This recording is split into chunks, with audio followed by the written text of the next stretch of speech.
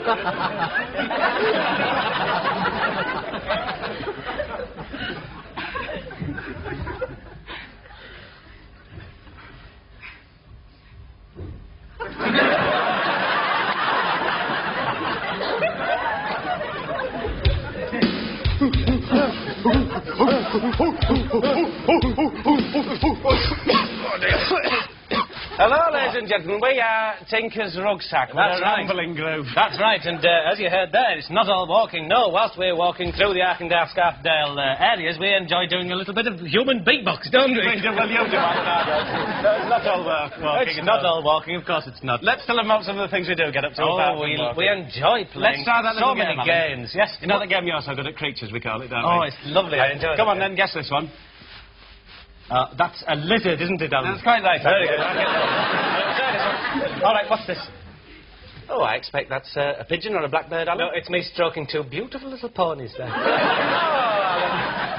You see, you see, Alan tricks me up there as well. You see, it's not all It's not walking. all walking. Of Yes. it's not. And uh, we play many other games. You remember Oh, we do. I Spy. Tell The tell I them about that one, Oh, we had a funny incident the other day once we were playing the I Spy game. And uh, Oh, didn't we, Joseph? I said I Spy with my little eye something beginning with BB. And I immediately, jumping straight in, I said, oh, it'll be that bed and breakfast hostel over there in Ascarton. And our Scarton Faster. Well, in fact, it was BB King, the blues guitarist, who was in the, in the walking just ahead of us. He was in the party just ahead of us, wasn't he, Alan? Oh, but it's not all walking. No, it isn't it. oh, do you why did you tell him that funny story about the dry stone wall?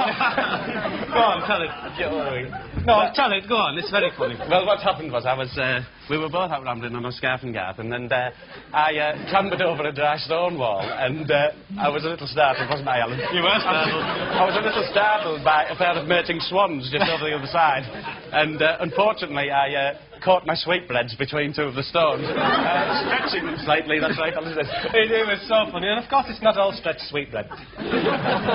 No, It and I. I, I think one way we can sum up what Tinker's Rucksack's all about is a little song that uh, Yes, I, uh, my, I wrote with Alan's wife in the extension that we built. and uh, why don't you just kick off, Alan? All right, then. I remember the summer of 75.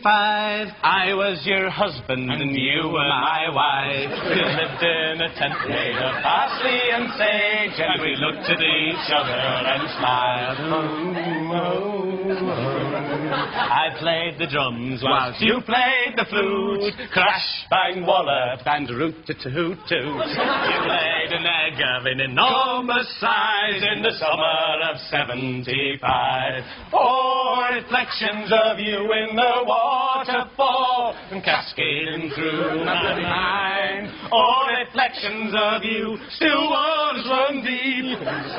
Summer of 75.